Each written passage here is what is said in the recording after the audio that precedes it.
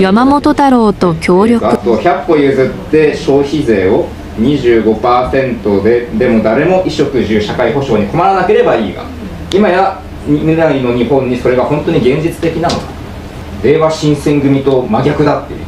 見いや次元的な消費減税は山本太郎さんとは随分話合うのよ。今なんか下げる長っていう意見長期的に福祉国家作らなきゃいけないっていうのも意外と山本さんとも合うのよ。話は。なんかこの間一緒にどっか行かれてましたそうそうそう、うんフレンドシップ。フレンドいやそこ話合うんですか？合うよ。増税派と減税派で合う。話し合うしかし良かったよ。本当に充実した。濃密な時間だった。いろいろやっぱ親密に話もできるし。うん本当良かった。移動中なんかもお話しする機会はもちろんもちろん、で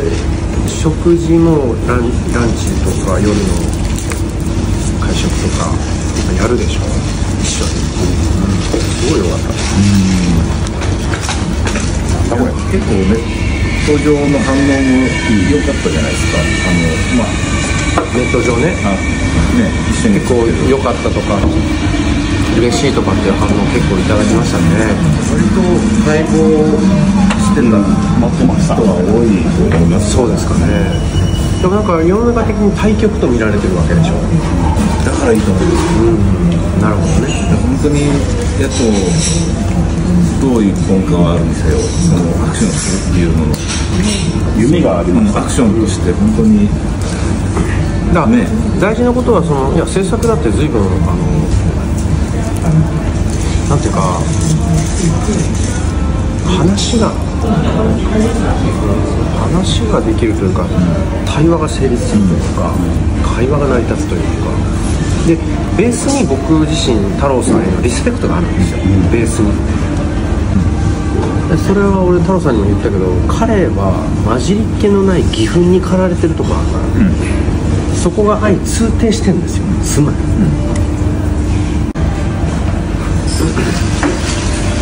本当よかったなんか新しい何か始まる感がワクワクするようなのはないじゃないですか、そういうのからすると野党内にねなんか僕やっぱりそういうニュースって作っていった方がいいしなんか動いてる感じがね、してくるから大石さんなんかも普通に喋れる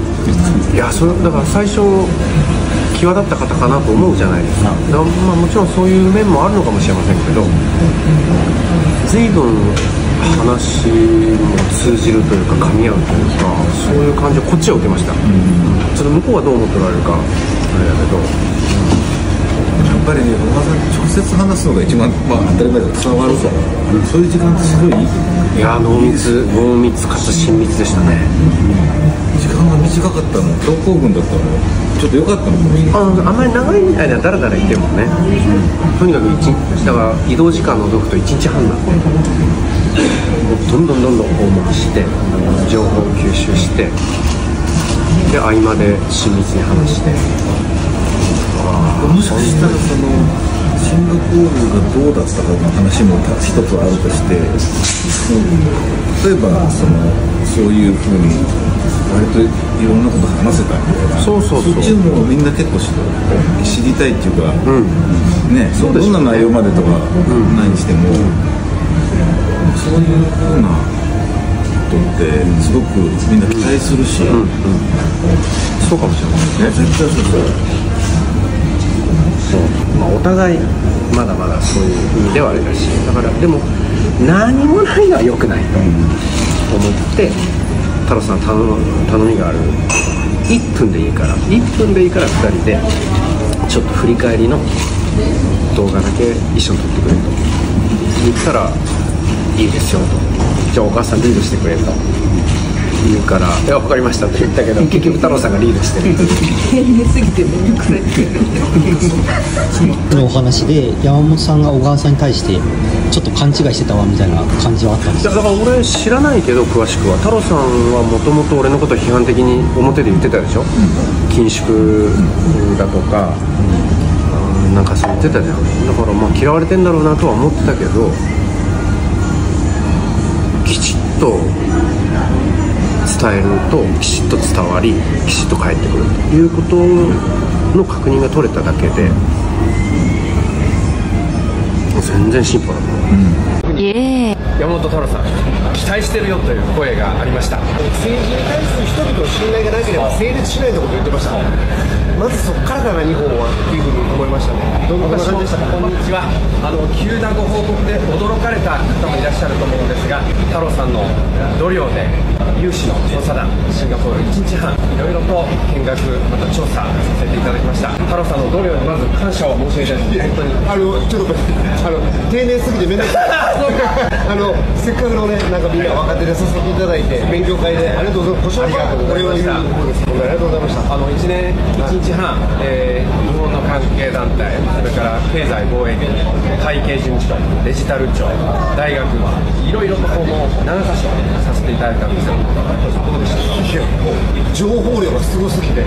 なんかもうちょっとゆっくりしたあの視察したかったなと思いました、こんな感じでねあの視察したかったなと思うんですけども、まあ、今回はもう短い日程だから行くと。本当だった。タイトな真面目な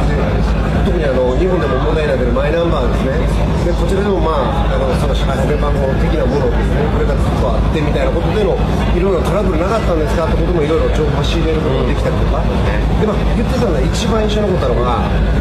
えー、と人々の人々、えー政治に対する人々の信頼がなければ成立しないということを言ってましたまずそこからかな日本はっていうふうに思いましたね。どんな感じでしたか？全く同じことを申し上げようと思ってました、えやっぱそれがないことにはもう基質論ではないあとシンガポールっていう国はこの小さな島で500万人がもう必死でこの国を成り立たそうとしているもう国の存立自体が高いんですそういうこうなんかテンションと状況がありましたやっぱり円安と物価高で、まあ、随分日本の国力が低下していることも感じました30年日本は成長してないっていうねもう衰退しっぱなしの中で逆にこちらはこの昨今の物価高でもその物価高を上回る賃上げもあったと。いうことを聞いてもうもう愕然とすると言いますか。もう日本も頑張らなあかんなって思いましたよね。最後にあの大学のシンガポール大学の専門家から日本の野党そして特に山本太郎さん期待してるよという声がありました。あのしっかり受け止めてみんなで今今後の国政に反映したいと思ってます。また詳細のご報告の機会も設けさせていただきたいと思います。ちょっと取り急ぎのご報告でした。太郎さん本当ありがとうございました。皆様いろいろご心配もおかけしました。ありがとうございます日本語訳したい小川淳也です。